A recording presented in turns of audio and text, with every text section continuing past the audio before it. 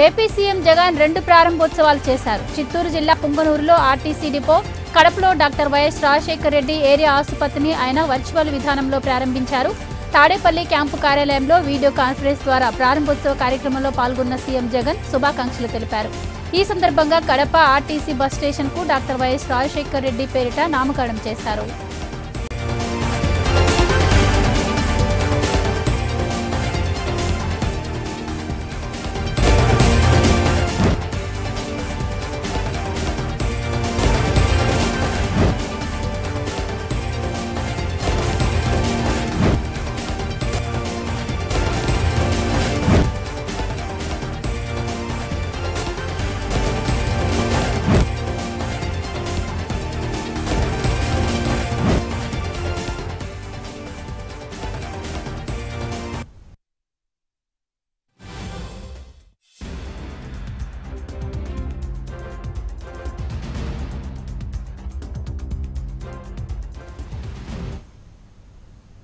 AP రవాణా శాఖ మంత్రి పేర్ని నాని రాష్ట్రంలో కరోనా పరిస్థితులపై స్పందించారు.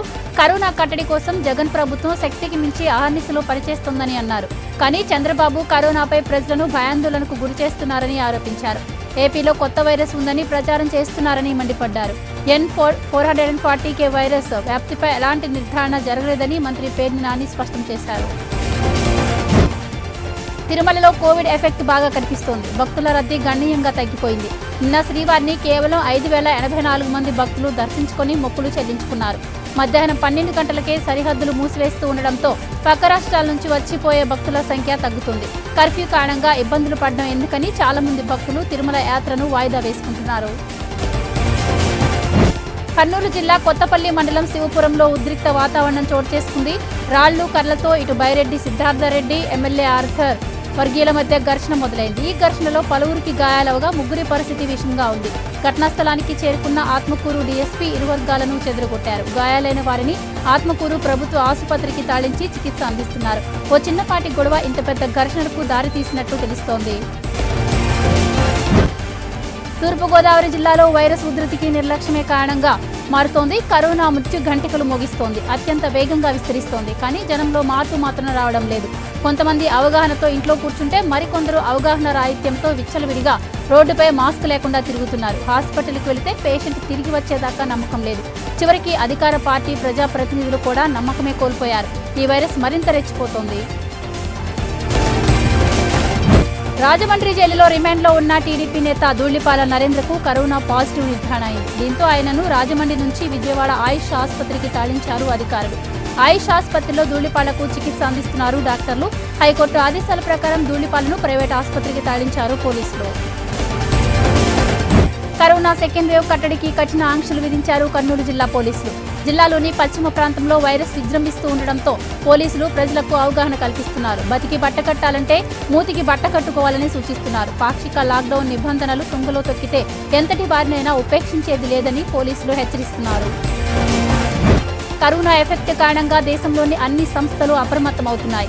ఏపీ మొత్తం కరోనా కట్టడి చర్యలు బుధవారం నుంచే చేపట్టారు. దీంతో బ్యాంకుల సిబ్బంది కూడా అప్రమత్తమవుతోంది. నేటి నుంచి ఏపీలోని బ్యాంకుల పనివేళ్ళలో అధికారులు మార్పులు చేశారు. ఉదయం తొమ్మిది గంటల నుంచి మధ్యాహ్నం ఒంటి గంట వరకే బ్యాంకులు పనిచేయనున్నాయి. సెకండ్ వేవ్లో కరోనా మహమ్మారి మరింతగా విజృంభిస్తున్న ప్రస్తుత పరిస్థితుల్లో సీఎం వైఎస్ జగన్మోహన్ రెడ్డి చేతులెత్తేశారంటూ స్వయంగా వైసీపీ నేతలే మాట్లాడుకుంటూ ఉండడం సంచలనంగా మారింది. రాజమండ్రి వైసీపీ కోఆర్డినేటర్ ఆకుల సత్యనారాయణ నివాసంలో ఎంపీ మార్గాని భరత్ రాజ్యసభ సభ్యుడు పిల్లి సుభాష్ చంద్రబోస్ రూరల్ కోఆర్డినేటర్ చందన నాగేశ్వరరావు మాజీ కోఆర్డినేటర్ రౌతు సూర్యప్రకాష్ రావు సమావేశమయ్యారు. ఈ సమావేశంలో కరోనా సంక్షోభం గురించి మాట్లాడుకున్నారు. కరోనాతో చనిపోయిన వారి మృతదేహాలను తరలించడానికి ముప్పై వేలు దహన సంస్కారాలకు పన్నెండు వేలు తీసుకుంటున్నారని వైసీపీ నేతలే తీవ్ర ఆవేదన వ్యక్తం చేస్తున్నారు. ఇలాంటి పరిస్థితుల్లో ప్రజలకు అండగా ఉండాల్సిన సీఎం జగన్ చేతులెత్తేశారని అభిప్రాయపడ్డారు. వైసీపీ నేతలు మాట్లాడిన ఓ వీడియో ప్రస్తుతం వైరల్గా మారింది. కరోనా కట్టడికి అవసరమైన అన్ని మార్గాలను పోలీసులు అన్వేషిస్తున్నారు. ఈ క్రమంలో తిరుపతి అర్బన్ ఎస్పీ వెంకటాపుల నాయుడు వినూత్న ఆలోచనకు శ్రీకారం చుట్టారు. తమ సిబ్బందికి మహమ్మారి సోకకుండా తగిన చర్యలు తీసుకుంటున్నారు. చంద్రగిరి పోలీస్ స్టేషన్లో స్టీమ్ వైపరైజర్ పరికరాన్ని ఏర్పాటు చేశారు. చంద్రగిరి పోలీస్ స్టేషన్ ఆవరణలో అర్బన్ ఎస్పీ వెంకటప్ప నాయుడు ఆదేశాల మేరకు స్టీమ్ వేపరైజర్ పరికరాన్ని ఏర్పాటు చేయడం జరిగిందని సిఐ రామచంద్రారెడ్డి పేర్కొన్నారు. పొరుగు రాష్ట్రాల నుంచి అక్రమంగా మద్యాన్ని తాళించే ముఠాను కడప జిల్లా పోలీసులు పట్టుకున్నారు. మద్యాన్ని తాళిస్తూ సొమ్ము చేసుకుంటున్న వ్యక్తుల కదలికలపై జిల్లా ఎస్పీ అన్బూరాజన్ నిఘా ఉంచారు. కడప తాలూకా పోలీస్ స్టేషన్ పరిధిలో కర్ణాటక రాష్ట్రానికి చెందిన మద్యాన్ని విక్రయిస్తున్న ఇద్దరు వ్యక్తులను అరెస్టు చేశారు. కరోనా కష్టకాలంలో కాకినాడ నగరంలో ప్రభుత్వ భూములు కబ్జాకు గురవుతున్నాయని టీడీపీ మాజీ ఎమ్మెల్యే కొండబాబు విమర్శించారు. కబ్జాకు గురవుతున్న ప్రభుత్వ భూములపై జిల్లా కలెక్టర్ దృష్టి సారించి విలువైన భూములు అన్యాక్రాంతం కాకుండా పరిరక్షించాలని ఆయన డిమాండ్ చేశారు. అంతేకాకుండా నగరంలో విచ్చలవిడిగా పేకాట క్లబ్లను స్థానిక ప్రజాప్రతినిధుల ప్రోద్బలంతో నడుపుతున్నారని వీటిపై జిల్లా ఎస్పీ దృష్టి సారించాలని కోరారు. తిరుపతిలోని ఏర్పేడు రహదారిలో రోడ్డు ప్రమాదం జరిగింది. అదే సమయంలో Tirupati MLA Bhumana Karunakar Reddy Tirupati MP Gurumurthy Yerpedu industrial ఎస్టేట్లో ఆక్సిజన్ ప్లాంట్ పర్యవేక్షణకు వెళుతున్నారు. కాగా ప్రమాదంలో గాయపడ్డ మహిళకు తిరుపతి ఎంపీ గురుమూర్తి ప్రథమ చికిత్స చేసి రుయా ఆసుపత్రికి తరలించారు. అనంతపురం జిల్లా కదిరి ఎమ్మెల్యే సిద్ధారెడ్డిని సిపిఐ నాయకులు అడ్డుకున్నారు. సిపిఐ నాయకులను పోలీసులు చెదరగొట్టడంతో ఇరువురి మధ్య తోపులాట జరిగింది. కదిరి ఏరియా ఆసుపత్రి నందు గల కోవిడ్ పేషెంట్ల వార్డును సందర్శించి వారి యోగక్షేమాలను తెలుసుకునేందుకు వచ్చిన ఎమ్మెల్యే సిద్ధారెడ్డిని సిపిఐ నాయకులు అడ్డుకున్నారు. ఆర్టీసీని ప్రైవేటు పరం చేస్తారన్న భయాందోళనలో ఉన్న తరుణంలో వేలాది మంది ఆర్టీసీ కార్మికులను ప్రభుత్వ ఉద్యోగులుగా గుర్తించి వారి జీవితాల్లో వెలుగును నింపిన నేత సీఎం జగన్ అని డిప్యూటీ సీఎం ఆంజద్ బాషా అన్నారు. కడప నగరంలోని ఆర్టీసీ ప్రాంతీయ కార్యాలయ ప్రాంగణంలో మూడు పాయింట్ ఎనిమిది సున్నా కోట్లతో నిర్మించిన వైఎస్ఆర్ ఆర్టీసీ ప్రాంతీయ వైద్యశాలను సీఎం జగన్ వర్చువల్గా ప్రారంభించారు. కొన్ని రోజుల క్రితం చెన్నైలోని ఓ ఆసుపత్రిలో సర్జరీ చేయించుకున్న నగరి ఎమ్మెల్యే రోజా అనంతరం డిశ్చార్జ్ అయిన విషయం తెలిసిందే. నెల రోజుల పాటు విశ్రాంతి తీసుకోవాలని ఆమెకు వైద్యులు సూచించడంతో ఆమె ఇంటి నుంచే పనిచేస్తున్నారు. కొందరు అధికారులు ప్రజాప్రతినిధులతో తాను వర్చువల్ పద్ధతిలో మాట్లాడానని తెలుపుతూ రోజా ఓ వీడియోను పోస్ట్ చేశారు. రెండు రోజుల క్రితం కూడా ఆమె కరోనా ఫ్రంట్ లైన్ వారియర్లతో వర్చువల్ పద్ధతిలో మాట్లాడి కరోనా కట్టడికి తీసుకోవాల్సిన చర్యలు ప్రజలకు అందాల్సిన సాయంపై సూచనలు చేశారు. రాష్ట్రంలో కరోనా కేసులు ఎక్కువగా ఉన్నందున ప్రభుత్వం పగటిపూట కర్ఫ్యూ విధించింది. అయినప్పటికీ కొందరు మాస్కులు లేకుండా రోడ్డుపైకి వస్తున్నారు. అయితే గుంటూరు జిల్లాలో ఎస్ఐ ఉజ్వల్ కుమార్ వినూత్నంగా ప్రజలకు అవగాహన కల్పించే ప్రయత్నం చేశారు. కాలక్షేపం పేరుతో బయటకు రాకు కరోనా కాటుకు బలైపోకు ఐసీయూ కంటే ఇల్లే పదిలం వెంటిలేటర్ కంటే మాస్క్ సుఖమంటూ స్లోగన్స్ ప్లకార్డుల మీద రాయించి ప్రజలకు వినూత్నంగా అవగాహన కల్పించారు. అనంతపురం జిల్లా ధర్మవరం పట్టణానికి చెందిన హరిప్రసాద్కు ముదిగుబ్బకు చెందిన కుసుమకుమారికి ఇరు కుటుంబాల అంగీకారంతో గురువారం తెల్లవారుజామున రెండు గంటలకు కదిరి పట్టణంలోని ఒక గుడిలో పెళ్ళి ఏర్పాట్లు చేశారు ఇంతలో ఏమైందో ఏమో కానీ ఈ పెళ్ళి తనకిష్టం లేదంటూ పెళ్ళి మండపంలో పెళ్ళి కూతురు తేల్చి చెప్పింది.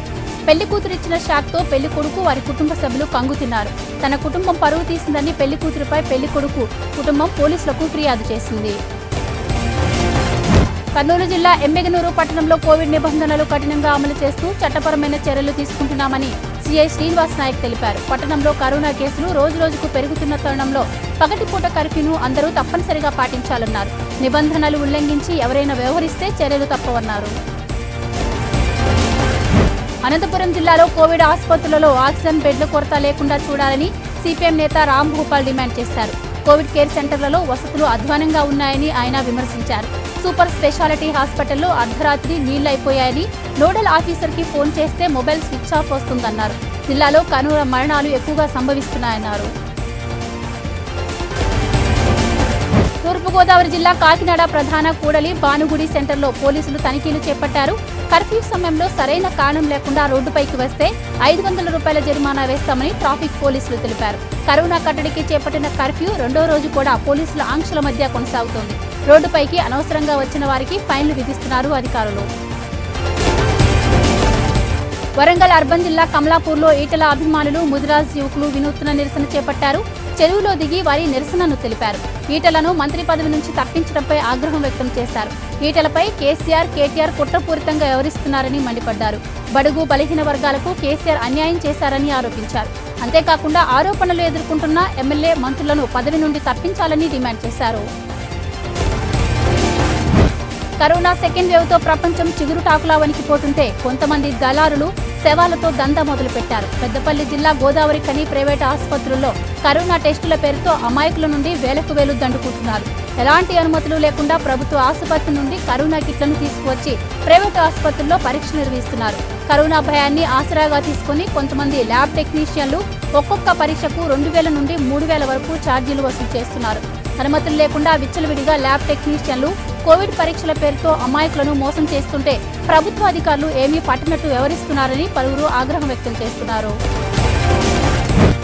యాదాద్రి భువనగిరి జిల్లా ప్రైవేట్ ఆసుపత్రుల నిర్వాహకంతో నిండు చూలాలు బలైంది ఆలేరు పట్టణంలోని సుధా నర్సింగ్ హోంలో రొయ్యల ఉష డెలివరీ కోసం వచ్చింది. ఆపరేషన్ చేస్తూ ఉండగా బిడ్డకు జన్మనిచ్చి తల్లి మృతి చెందింది. మృతదేహాన్ని ఆపరేషన్ థియేటర్ బెడ్పైనే వదిలేసి వైద్యుడు ప్రతాప్ రెడ్డి వెళ్ళిపోయారు వైద్యుల నిర్లక్ష్యంతోనే ఆక్సిజన్ అందక చనిపోయిందని మృతురాలి బంధువులు ఆందోళన వ్యక్తం చేస్తున్నారు.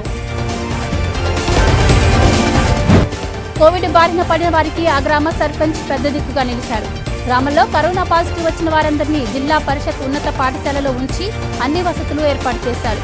మాడుపల్లి మండలంలోని మోత్పూర్లో యాభై కేసులు నమోదయ్యాయి. వారి కోసం సర్పంచ్ అఫ్జల్ క్వారంటైన్ సెంటర్ ఏర్పాటు చేసి తన సొంత ఖర్చులతో అన్ని సౌకర్యాలను సమకూర్చాడు. డాక్టర్ సతీష్ ఏఎన్ఎం ఆశా కార్యకర్తలు అందుబాటులో ఉంచి ఎప్పటికప్పుడు వారి వైద్యం అందిస్తున్నారు. పేషెంట్లు అధైర్యపడకుండా మనోధైర్యం కల్పిస్తూ సలహాలు సూచనలు ఇస్తున్నారు.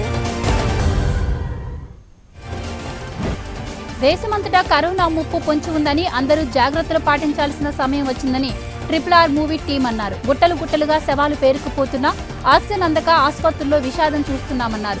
చాలా మంది జాగ్రత్తలు పాటించడం లేదని తెలిపారు. మన బాధ్యతను గుర్తు చేస్తూ కరోనా రహిత దేశం కోసం నడుం బిగించింది triple R team. Pan India మూవీగా వస్తున్న ఈ సినిమాలో పనిచేస్తున్నారు ఆర్టిస్టులు. దర్శకుడు ఐదు భాషల్లో కరోనా జాగ్రత్తలు చెప్తూ ఓ వీడియో రిలీజ్ చేశారు. మంచిర్యాల జిల్లాలో కరోనా మహమ్మారి మరణ మృదంగం మోగిస్తోంది. బెల్లంపల్లి పట్టణంలోని సింగరేణి ఏరియా ఆసుపత్రి ప్రభుత్వ ఐసోలేషన్ సెంటర్గా ఏర్పాటు చేశారు. ఈ ఐసోలేషన్ సెంటర్లో ఇరవై నాలుగు గంటల్లో ఎనిమిది మంది మృతి చెందారు. ఇంకా కొంతమంది పరిస్థితి విషమంగా ఉంది. బెల్లంపల్లి చుట్టుపక్కల ప్రాంతాల నుంచి పరీక్షలు చేయించుకోవడానికి వ్యాక్సిన్ వేయించుకోవడానికి వస్తున్నారు. ఇక్కడ ప్రజలు అందరూ గుంపులు గుంపులుగా ఉండడంతో వైరస్ విజృంభిస్తోంది.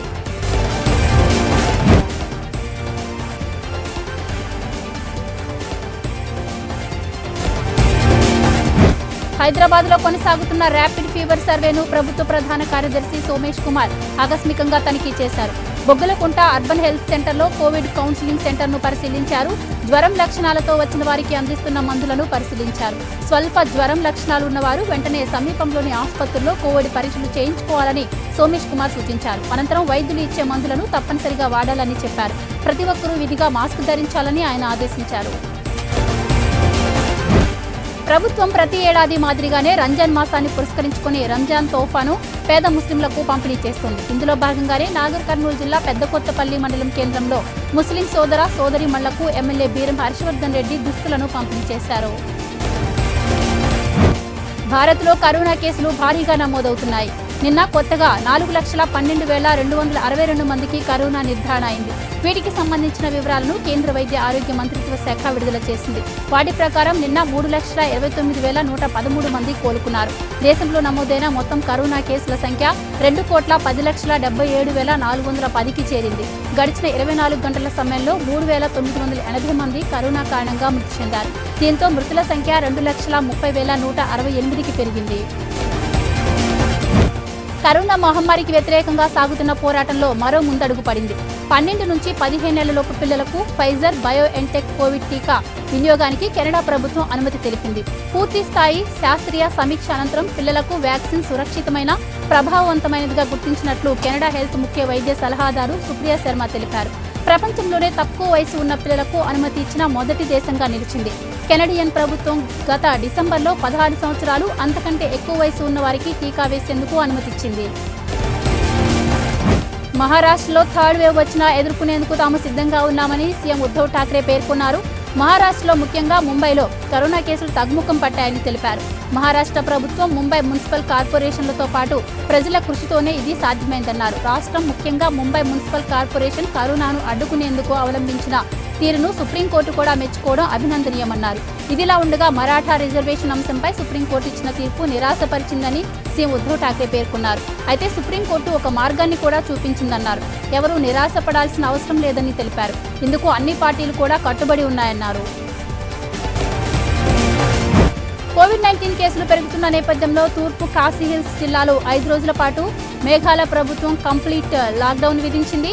బుధవారం రాత్రి నుంచి మే పదో తేదీ వరకు అమల్లో ఉంటుందని పేర్కొంది. రాష్ట్రంలోని ఇతర జిల్లాల్లో వారంతపు లాక్డౌన్ను సైతం అమలు చేయాలని ప్రభుత్వం నిర్ణయించింది.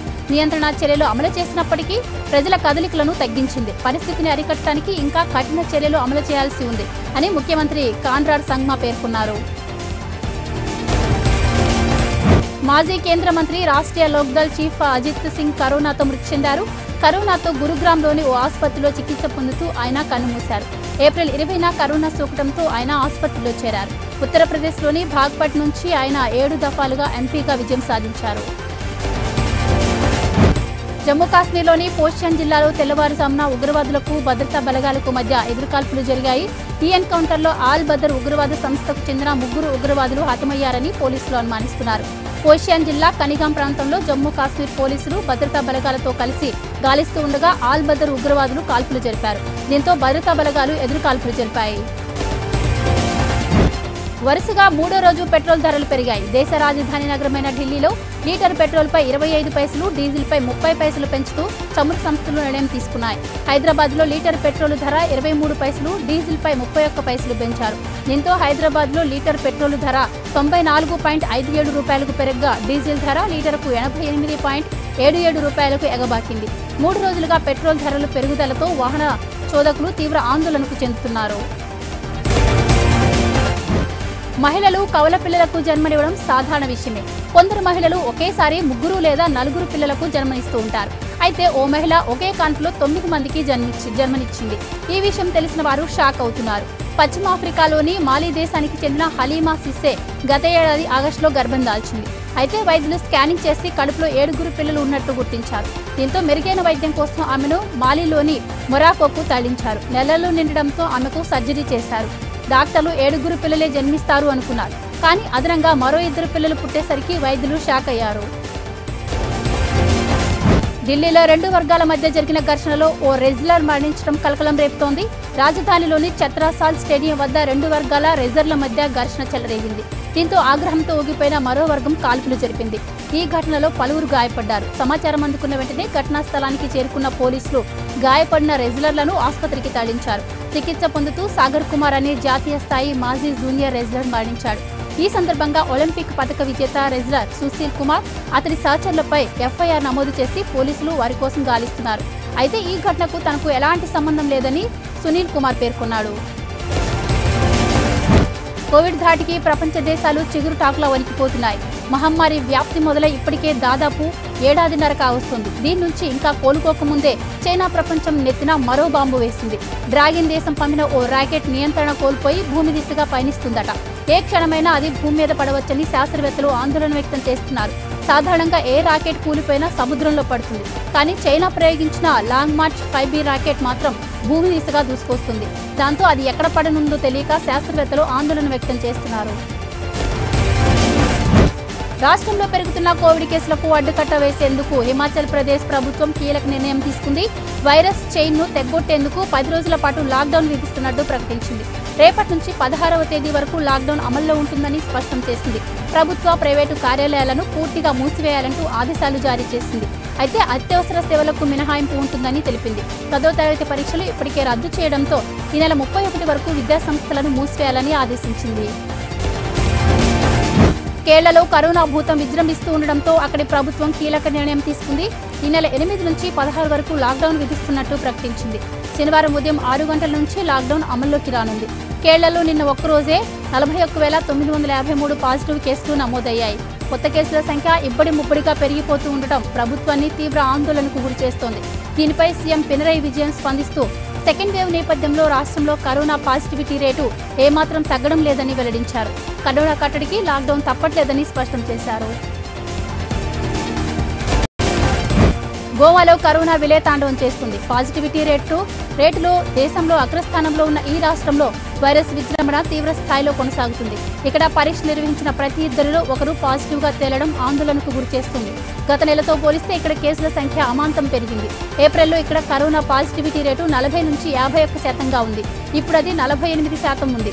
పాజిటివిటీ రేటు అత్యధికంగా ఉన్న రాష్ట్రాల్లో గోవా తర్వాత హర్యానా రెండో స్థానంలో ఉంది. న్యూజిలాండ్ ప్రధాని జెసిండా ఆర్డెట్ పెళ్ళి డేట్ ఫిక్స్ అయింది. అయితే పెళ్ళికి పిలవకపోయినా నొచ్చుకొని వారి జాబితా ఖరారయ్యాక మాత్రమే ఆ తేదీని జెసిండా వెల్లడిస్తారట. అందుకు కరోనా ఒక కారణం కావచ్చు. అంతేకాదు ఈ వయసులో పెళ్ళి గౌనులో కనిపించడం ఎబ్బెట్టుగా ఉంటుంది అని అనుకుంటున్నాను. కనుక పెళ్ళి ముస్తాబులు ఏమీ ఉండవు అని కూడా ఆమె ప్రకటించారు.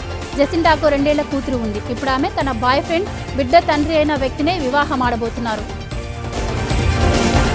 నేపాల్ ప్రధాని కేపీ శర్మ ఒలికి షాక్ తగిలింది.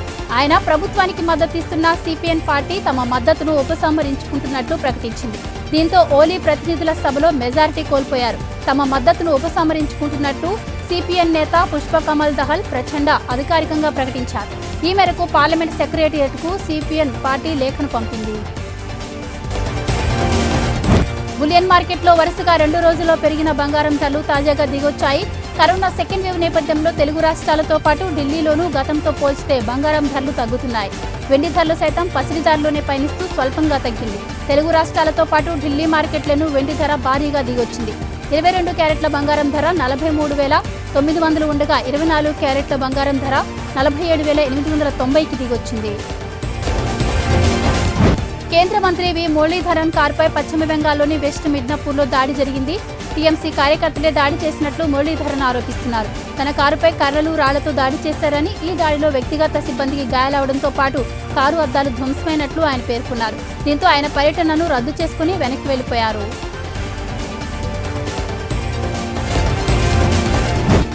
పోలీస్ అధికారి కొంచెమైనా జాలి లేకుండా ప్రవర్తించిన తీరుకు ఉన్నతాధికారులు స్పందించారు. వెంటనే సస్పెండ్ చేస్తూ ఉత్తర్వులు జారీ చేశారు. కూరగాయలు అమ్ముకునే వ్యక్తి దగ్గరకు వెళ్ళిన పంజాబ్ పోలీస్ ఆ బుట్టలను కాలితో తన్నాడు.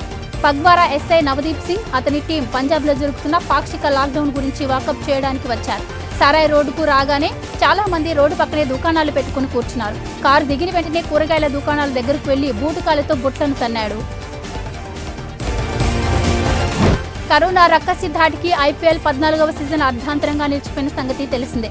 బయో బబుల్ అమలు చేసినప్పటికీ ఐపీఎల్ ఆటగాళ్ళకు కరోనా సోకడంతో టోర్నీ నిలిపివేయక తప్పలేదు. ఐపీఎల్ తాజా సీజన్ను నిరవధికంగా నిలిపివేస్తున్నట్లు ప్రకటించిన బీసీసీఐ మిగిలిన మ్యాచ్లను సెప్టెంబర్లో నిర్వహించాలని ఆలోచిస్తోంది. అంతర్జాతీయ క్రికెట్ క్యాలెండర్ ప్రకారం సెప్టెంబర్లో ఐపీఎల్ రెండో దశ నిర్వహణకు బీసీసీఐ ఐపీఎల్ గవర్నింగ్ కౌన్సిల్ చర్చిస్తున్నాయి.